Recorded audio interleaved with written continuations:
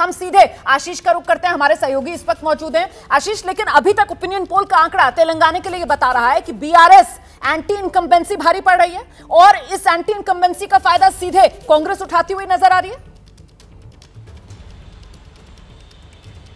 ज़ाहिर तौर पर रोमाना आपने बिल्कुल सही कहा। जो हमारे आंकड़े बता रहे हैं, जो हमारे सर्वे बता रहे हैं, उसके हिसाब से तो साफ़ तौर पे केसीआर के सरकार को एंटी इनकम्बेंसी का खामियाजा भुगतना भुगतना पड़ रहा है, ऐसा नज़र आ रहा है। कांग्रेस एक ताकतवर पार्टी के रूप में उभर रही है और शायद सत्ता में भी आ जाए। कम से कम ये आंकड़े तो यही बताते हैं। हमारे साथ बीआरएस के वरिष्ठ नेता हैं कृषांक कृषांक तीसरे बार हैट्रिक की आप तैयारी कर रहे थे, लेकिन हमारे आंकड़े तो बोलते हैं कि कांग्रेस शायद आपको इस बार पछाड़ दे यहाँ पे।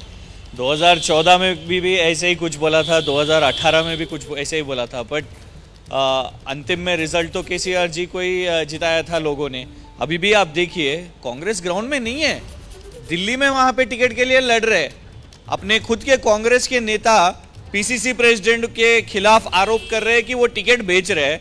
हमने के जी ने पूरे के पूरे उम्मीदवारों को अगस्त में ही हमने प्रकट कर दिया था अनाउंस कर दिया था।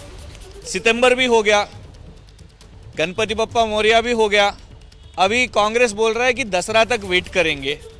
त्यौहार पे त्यौहार है, अरे कांग्रेस अभी भी प्रिपरेशन नहीं है ग्राउंड पे नहीं है। हमारे देखिए 16 तारीख को मैनिफेस्टो आने वाला है।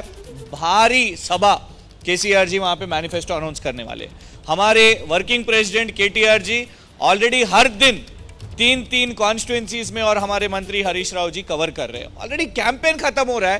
कांग्रेस अभी भी फ़ील्ड में नहीं है कैंडिडेट्स भी अनाउंस नहीं हुए इलेक्शन शेड्यूल आ गया है सामने।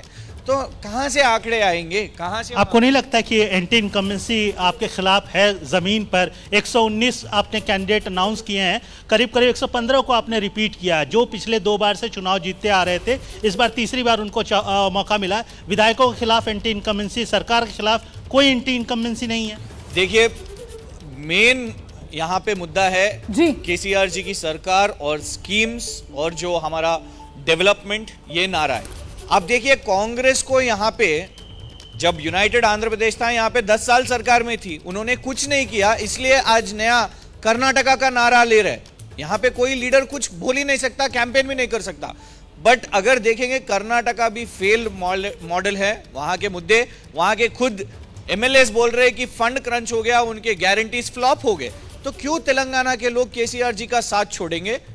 चाहे वो पेंशन रहने दीजिए या पानी रहने दीजिए या तो चौबीस घंटे बीआरएस की तरफ़ से जीत का दावा किया जा रहा है। ज़ाहिर सी बात है नतीजे आने तक नेता इसी तरीके से अपनी जीत के दावे पर कायम रहते हैं। आशीष में लौटूँगी आपके पास। जैसे ही घड़ी का काटा दोपहर ढाई पे आए बबीता जी का दिल सास बहू साजिश के लिए मचल जाए।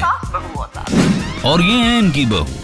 पूरे दिन ऑफ़िस की टेंशन हो जाए गॉन जब ये करें अपना फेवरेट शो फ्री टाइम पे ऑन इनकी तरह, आप भी देखिए अपना फेवरेट शो अपने टाइम पर. और डाउनलोड कीजिए एबीपी लाइव ऐप अपने स्मार्ट टीवी पर.